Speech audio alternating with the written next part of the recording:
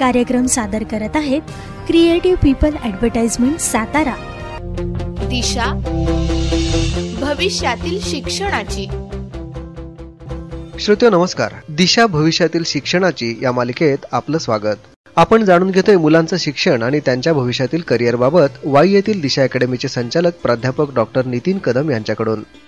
प्रिय विद्यार्थ्यांनो सध्या कोरोना व्हायरसमुळे उद्भवलेली अभूतपूर्व परिस्थिती आणि आपण सगळेच जण या सगळ्याला सामोरं जात आहोत. संपूर्ण जग जवळपास थांबलंय. प्रत्येक देश त्यामधील राज्य लोक या व्हायरसपासून स्वतःचा बचाव करण्यासाठी स्वतःला सेफ ठेवण्याचा प्रयत्न करीत आहे. आणि मला खात्री आहे की तुम्ही सुद्धा सर्वजण आपापल्या घरी राहून स्वतःची कुटुंबाची निश्चित काळजी घेत असाल. या अचानक उद्भवलेल्या परिस्थितीने संपूर्ण भारत देश लॉकडाऊन करावा लागला आणि त्यामुळं तुमचा शेवटचा भूगोलाचा पेपर कर राहून गेला. तो पोस्टपॉन करावा लागला. आणि या डिक्लेरेशननंतर अनेक विद्यार्थ्यांना नक्कीच असं वाटलं असणार की एवढा शेवटचा पेपर होऊन जायला पाहिजे होता. आत्ताच कसंटी केलं एक दोन दिवसांनी करायला पाहिजे होतं वगैरे वगैरे. परीक्षार्थी म्हणून तुमचा हा विचार ठीक आहे परंतु विद्यार्थी म्हणून नक्कीच नाही. कारण परीक्षा पुढे आपण कधीही घेता येईल परंतु तुम्ही तुमचं आरोग्य महत्वाचं. खरं तुम्ही उद्याचे या देशाच्या भविष्य आहात आणि कोणतेही शासन सरकार किंबहुना तुमचेही पालक तुम्हाला अशा या संकटात कधीही टाकणार नाहीत. असो. आता लॉकडाऊन चौदा तारखेपर्यंत आहे. आणि परिस्थिती नियंत्रणात आली तर अजून एखाद्या आठवड्यामध्ये आपला उरलेला भूगोलाचा पेपर होईलच असा विचार करून तुम्हाला पुढच्या काही दिवसांचं नियोजन करायचंय. तुमच्याकडं पुढील काही दोन आठवडे सरासरी मिळणार आहेत आणि ह्या दोन आठवड्यात आपल्याला भूगोलाचा अभ्यास करता येईलच किंबहुना तुमचा आतापर्यंत तो निश्चित झालाही असणार आहे. पण त्यासोबत आपण आपला उरलेला वेळ हा कशासाठी देऊ शकतो? तर सगळ्यात महत्वाचं आहे तो म्हणजे तुमच्या करिअर प्लॅनिंगसाठी तुमच्याकडे खूप वेळ आता निश्चित शिल्लक आहे. आणि जर याचा वेळेचा उपयोग करून घेतला नाही सुट्टी आहे म्हणून किंवा अभ्यास झालाय म्हणून जर तुम्ही असाच वेळ घालवत राहिलात तर अशी चांगली वेळेची संधी आपल्या हातून घालवली याचा नक्कीच तुम्हाला पुढे पश्चाताप होऊ शकेल. ही सर्व परिस्थिती नियंत्रणात येत नाही तोपर्यंत आपण काय काय प्लॅन करू शकतो याच्यावर मात्र नक्कीच बोलूया.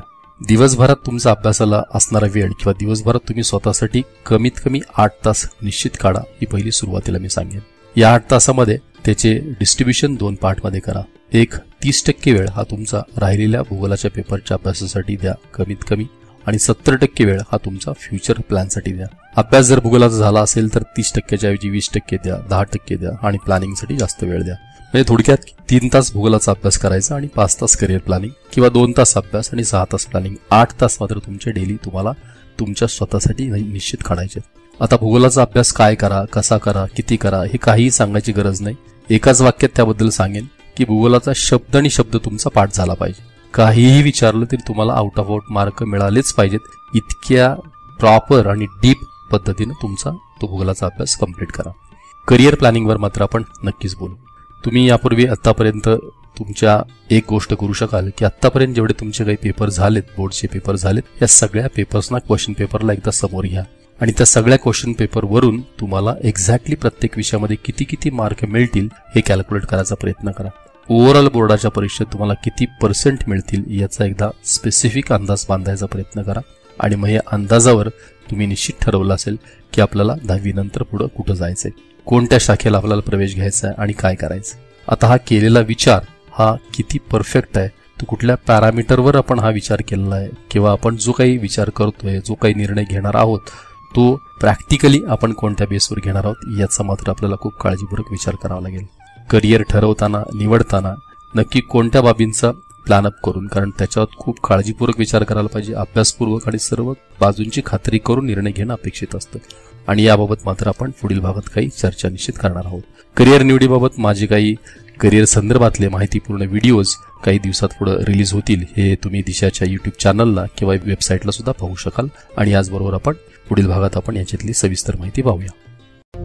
दिशा भविष्यातील शिक्षणाची. श्रोते हो वाई इथल्या दिशा अकॅडमीमध्ये इंजिनिअरिंग मेडिकल आर्किटेक्चर आणि एनडीए प्रवेश परीक्षांची सर्वोत्तम तयारी करून घेतली जाते. इथलं वैशिष्ट्य म्हणजे प्रत्येक विद्यार्थ्याच्या अभ्यासाच्या तयारीकडे वैयक्तिक लक्ष दिलं जातं. श्रोते हो सध्या कोरोनाच्या साथीमुळं दिशा अकॅडमीनं ऑनलाईन बॅचेसचं नियोजन केलंय. या बॅचेस दहा एप्रिलपासून सुरू होत आहेत. प्रवेशासाठी सातशे सत्याहत्तर पाचशे ब्याण्णव पाचशे ब्याण्णव तीन किंवा चार वर जरूर संपर्क साधा. किंवा W W W Disha academy dot O R G या वेबसाईटला भेट द्या. या मालिकेची निर्मिती केली आहे Shrinivas Dongre creative people advertisement Satara यांनी.